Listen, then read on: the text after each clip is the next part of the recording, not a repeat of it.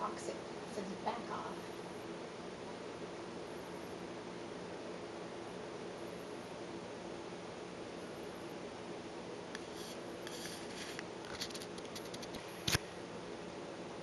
It says by studying poisons in the frog skin, scientists hope to make a painkiller as strong as morphine but without the addictive and groggy side effects.